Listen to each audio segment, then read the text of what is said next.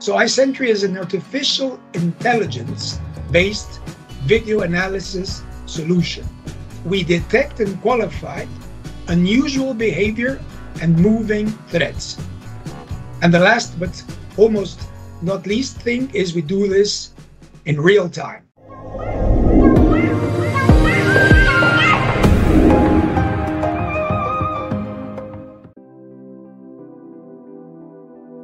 Now, perhaps for you guys, one of the most important things is that we are natively integrated into the Milestone XProtect solution, ensuring, and this is very important, a unified platform end-to-end user experience. How this actually looks in the smart client, so you get an idea for how it's integrated. All right. So first up here is just an example of uh, the blurring. So the blurring is a plugin that runs in the smart client. So it's available in live and in playback. And we can pre-configure views. So the administrator could set up views. And in these views, right, the operators are only allowed to see certain cameras. So those can be pre-set up, right?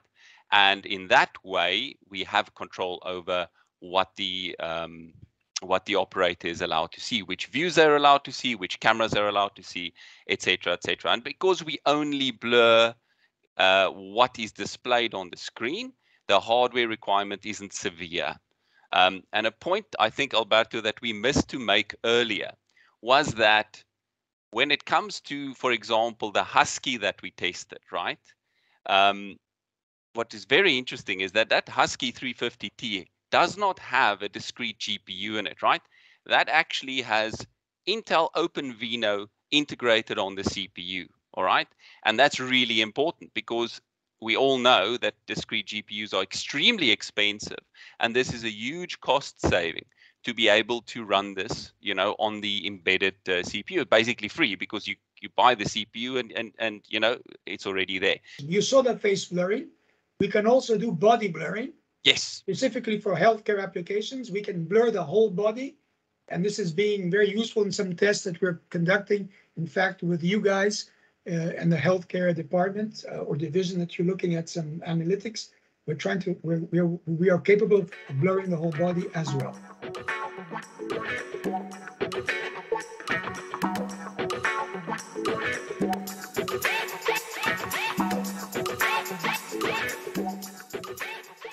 Going to run through these alerts quite quickly. As I said, Alberto has already shown you some nice examples, but here we want to just show you how it looks. So I've this is the iSentry tab, and we have uh, several options here. We just have a list of cameras here um, that I'm grouping by camera so we can so I can more easily show you the alerts. Um, and I'm going to start with unusual behavior. Now I don't have hugely fancy unusual behavior examples, but I have a few that I think would be interesting to show. So the first one I want to show you, let's say, is this one. So you will first notice that all these alerts are marked in red, all right? This means we have a rule and the rule prioritizes the alert as a high priority. Why? In this case, we have a rule that says if we detect a person wearing a motorcycle helmet, then that should be a high priority alert. Now, unusual behavior is, is pretty interesting in the sense that it will pick up very very regularly if a person carries something but also when they have like an unusual head like this. And then the the object classification will of course allow us to classify the helmet as you can see in that image helmet 72% all right? So while we're here um, we have these classified frames available for viewing. We can also uh, add a flag or a comment in here if we like. Uh, we can export the images, the original high quality images. These can be compressed. You can see that we had immediate video playback on the left here, which is all standard milestone uh, functionality. We also have a the ability to switch to live video. So if we have an event that is currently happening, because remember these alerts come in in near real time. So you we will get an alert coming in and, and that's as it happens. All right. Of course, these are loop videos. So this is why you see it over and over. Um, and then what the operator has, we've got lots of ability to configure this, but the operator would typically have a range of buttons that are configurable, which they could dismiss. And of course, all the categories here can be configured and they can add a note of why it was dismissed, so why it was not important. Or indeed, if we want to escalate to, to, to an alarm, we could say suspicious person, alert or keep watch. And we could say, you know, I don't know, a helmet uh, detected, for example, uh, and we could send this as an alarm, right? What you would notice is that will pop up in the alarm manager immediately as an alarm integrated into Milestone, right? So that's the helmet example. Let's go to the next one. So let's look at this one. So here we have unusual behavior, and this is a very typical uh, use case once again. Uh, you will see that this guy is falling. Well, it's not really falling, that's gently lying down, but you can't blame him because really falling hurts. Um, but that is an example of unusual behavior. And we have the same. We have the, the, the um, frames here with the classifications that tells us that it is a human that's involved in this action. And of course, everything is available uh, to the operator. All right. The next one, I'm going to show you another example of falling just because it's interesting. Let's show you this one. So here we have also a person on a bicycle falling. And that's a typical unusual behavior once again. So this is just some examples of interesting, unusual behavior. You can imagine that, for example, as Alberto said, uh, healthcare or even retail, wherever you would care that someone gets hurt, falling is a useful thing to know. But it also talks to, you know, one of those things that we've got no rule set up here for UB to detect falling. Unusual behavior does this all by itself because it learns what is what is typical in a scene and then alerts what is not standard or usual. All right. Now, an interesting one here is going to be this one. So you will see there that we have a little red box, which is the indicator that indicates the the source of the alert on that box there. So if I play the video, you will see we have a little indicator there, the same as there. If I click on placement, and I go back, you will see here's the guy placing the uh, garbage we said we said dumping in this case. But what's interesting, and Alberto alluded to this, is that we use this analytic in X in in a huge variety of cases. Our our deep learning here. So in other words, imagine we have a use case where there's a vault. The vault is can only be opened for I don't know a certain amount of time and there must be at least uh, two or more people in the room when this happens. That's the sort of scenario that we can do using a combination of our left object analytic plus our deep learning uh, plus the rules, right? So we can be very precise about how we apply these, all right? And um, things like uh, let's say uh, parking in a no parking zone is a very simple use case for us because we can classify a vehicle as there. Vehicle is the source of the alert. Vehicle has been parked there for 30 minutes, whatever the case is. So left object is a very interesting one. Uh, well, in, in this case, it says waste being dumped on the side street. We have plenty of requests yes uh, for this sort of detection in, in, in many different situations. All right, now I'm going to jump to TREX. All right, so TREX is an interesting one because we can apply it also from short range to long range and we have a lot of breadth in terms of our capa uh, capability there.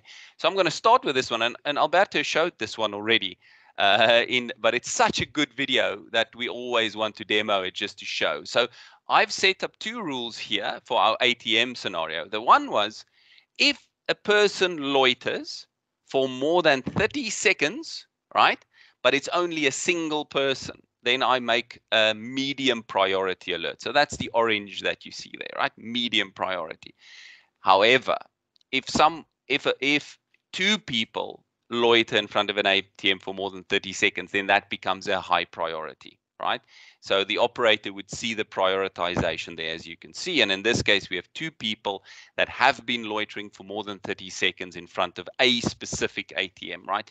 And this is the, the rule. So it, it demonstrates two things. Firstly, the fact that we can set second precise loiter times on our TREX analytic. This is short distance. This is TREX light, essentially. Um, but we can also then on top of that configure very complex rules, right? So we know that there's at least two people in this scene, all right? Or, or not just in the scene, but in front of that ATM specifically, because there could be people on the sides, right? And we don't care about them. Or pers- one person at the one ATM and another in the other, and that would also not uh, you know, let's say uh, satisfy the use case. So this is a very good example of how we can satisfy a use case we never came across before this was requested from us. Okay, so that is our uh, ATM one. So let's go to the next one. So the next video here, and I'm going to show this to you twice. So I'll be brief about this. High priority person detected is the rule that's applied here. And there you can see this is a 100 meter perimeter thermal camera person classified.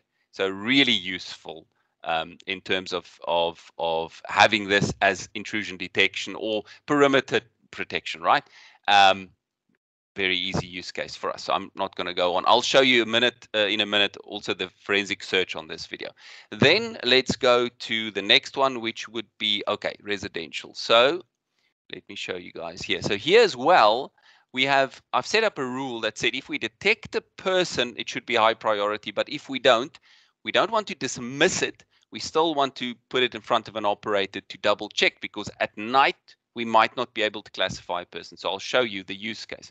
If I click on this, you can see there in the distance we're picking up something, right? But it's not necessarily clear what that is, right? But if you start playing the video, right, and there we're detecting the person. And this is Trex Light, mind you. So this is our our lowest tier um, Trex Analytic. And sort of when the person arrives here, you can see, oh yeah, yeah it's actually a human being that uh, grabbed something from a from one of these houses. Now the point is, is here we're protecting only the sidewalk. Uh, we're not we're ignoring the road, let's say, so that we don't get false positives, right? Um, and as you can see, we picked up this alert nicely. But in in a follow up, we'll detect this twice because we tracked the guy walking up, and then that would be one alert, and we did classify him. And then as we classify him, we then create a high priority alert. Okay, so this is a, a very useful demonstration of rules and TREX working together. All right, so that would be uh, Trex. Then let's see. Um, the next one I want to show you guys is the long range. So this is also very typical, and, and we've shown you some of this before. This is actually not far enough. Let's see if we can get one that's nice and far. So there you can see we have an alert. That car is about 700 meters away. Now mind that this is a standard thermal camera. So this is a 35 millimeter lens, if I remember correctly, 352 by 288 resolution thermal, native resolution thermal camera. So this is a standard um, thermal camera, not massively expensive or fancy, normal fixed camera. And that's 700 meters. We can go beyond 700 meter detection, of course. But you can see now that guy there, we are not detecting because he's outside of our detection zone. Our detection zone excludes the panels themselves. So we have a, a, detection zone here. So if as that person walks back into the detection zone, you can see we pick him up immediately. So there we have our two individuals walking around no problem at all. We can't classify at this distance, obviously, because there's just not enough pixel data there. But as they come closer, this becomes better and better and easier as we move forward. Right, so that would be that. Then I have one video I want to show you guys, but this is has no value from an alerting point of view, just to demonstrate our private uh, personal protection equipment. So this is a stock video, as you can see. The reason we use this video or we've added this video is really so that you guys can see very clearly. We've got a hard hat, safety glasses, high visibility. Um, of course, this model is trained on, on, on CCTV angle, so it wasn't trained on an angle like this because no CCTV camera is mounted in this way. But this is the clearest way um, to be able to demonstrate it, which is why I have it on here. All right, so that is that. So if I now go to our alert search, I'll be very brief. Um, I want to show you, and, and Alberto's already shown this. So if I go to da da da da da perimeter one, and I can say I want, for example, just uh, when if there was a person in that area, for example, that would be the use case.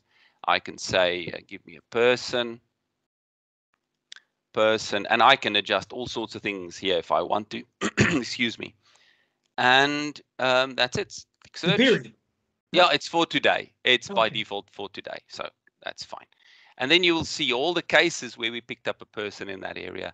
Person detected, perfect. And mind, this is a 100 meter fence line. So it is it is a reasonable distance. Now that's it, as simple as that. Um, but anyway, I'll show you guys anyway. So if counting special counting applications, Um, and I'll show you this very quickly. So this is basic entrance exit counting top down, but then we have GPU enabled counting, which adds some excitement and interest to this. So if I go to this, um, this is specific customer request, right? So what we have here is different bus operators and the different bus operators have different colored buses. So the request was let's count the buses. So the vehicle types, you can see we count cars, motorbikes, are different types of vehicle, but also then colors. So we know those were the colors of different buses and the numbers. The numbers don't make sense. It's a recorded video. But the point is, is we have the numbers here per color. So we can, with good accuracy, say which operators did what volume in a day, for example, right, in a report. So this is just an interesting application of a combination of our counting and